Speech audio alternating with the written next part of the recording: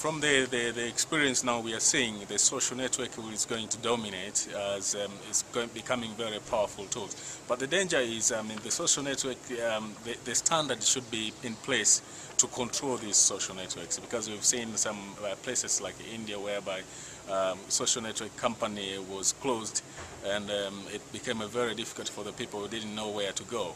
So there should be a control and principles to, uh, in order to facilitate that. That's a movement that no one can has the power to change it and it's there to stay. Mm.